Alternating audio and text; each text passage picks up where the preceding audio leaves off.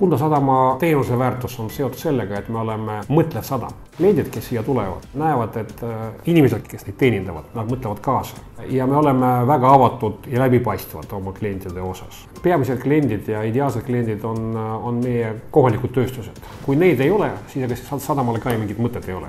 kui see klient tuleb meie juurde, ma arvan, tal on, tal on peamine mure ja, ja soov et äh, tema kaubaga midagi ei juhtuks. kui see klient äh, teab, et tema kaup jõuab Kunda sadamasse, ta võib rahulikult magada ja, ja teada, et, et, äh, et tema kaup saab ilusti laeva või tuleb ta laeva pealt maha ja ta on kindlates kätes me soovime, et, et klient, kes oma teenuse eest maksab meil, ta võib selles teenuses kindel olla, et tema raha on läinud õige asja eest välja. kui sa küsid oma töö eest raha, et see peab olema väärtustatud läbi klientide silma tahame, et see klient tunneks ennast nagu kodus. Kunda sadam on tema kodusadam, ka tema kaupade jaoks, mitte ainult laevade jaoks.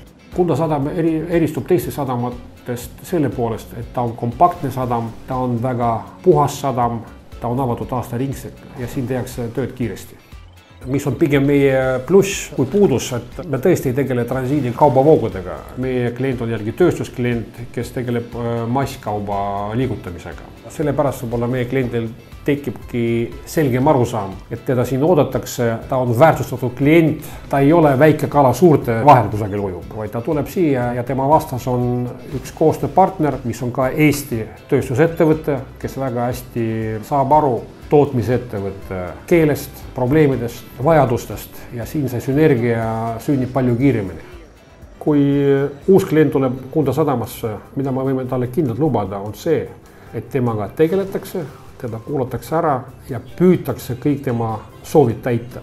iga liigutus ja iga tegevus sisaldab teatud riske. kui kohmaka mingisuguse tegevuse pärast äh, tekitame kliendile kahju, selge see, et me oleme täitsa avatud ja oleme kompenseerinud ka neid kahjusid. Tööstusettevõte, kes avastab ükskord, et tal on vaja oma kaubapartiid eksportida näiteks kuhu iganes, on ta siis Euroopa või lausa teine manner ja ta vajab selleks juba meretranspordi abi, võib julgelt tulla Kundasse vähemalt nõu küsima. kuidas nüüd edasi sellega nagu toimida ja, ja kuidas siis jõuda selle, selle siht, sihtpunktini, mis asub seal võib-olla seitsme mere taga.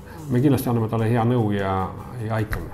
ja südamest me oleme tõesti, tahaksime, et kõikvõimalikud meie kohalikud eksportijad, importijad tuleks, tuleksid Kunda sadamasse